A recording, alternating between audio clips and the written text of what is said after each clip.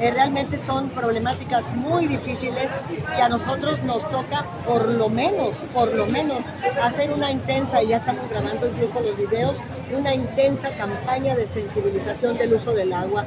Estamos en una zona donde el agua nunca nos ha faltado, usted lo sabe, Lenín, las circunstancias han cambiado totalmente y tenemos que cambiarnos también el chip que traemos, ¿no?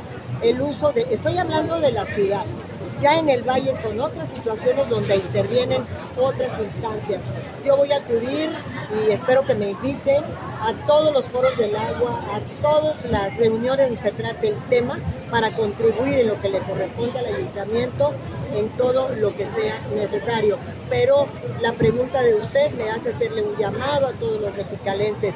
Ciérrele, ciérrela ya. El agua, el agua de Mexicali puede llegar, y espero que no suceda, a ser tan crítico su distribución como le sucedió a Monterrey hace dos meses, donde simplemente se abría la llave del agua y no había Esto yo espero que no suceda aquí, pero también depende de las acciones de cada uno de nosotros. ¿Aumentarán multas o alguna otra medida además de, de... Ya lo anunció, ya lo anunció el director de Ecología y Medio Ambiente el día de ayer las multas siempre han estado en el reglamento, compañero.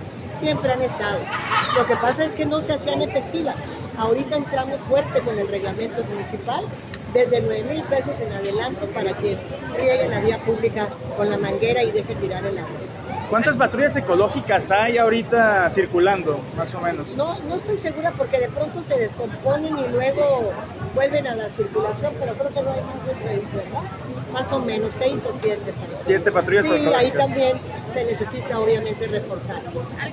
Hay instrucciones directas de la presidenta municipal a lo que es la policía municipal de si ven gente o ciudadanía regando banquetas o tirando el agua, eh, lavando vehículos en vía pública, pues sean ser sancionados. Y por, nuestra parte, como Dirección de Protección al Ambiente, seguimos con los comercios y servicios en donde ellos también de igual manera nosotros podemos sancionar eh, sobre todo por la mala disposición del agua residual que generan sus actividades. ¿A cuánto se esa multa? Bueno, es variable, eh, hay multas de, entrada de 9 mil pesos, más o menos, este, que nosotros que se puede ir incrementando dependiendo si siguen incurriendo en esa... ¿Pero quién sanciona? ¿Ustedes o eh, la Policía Ecológica? Ambos.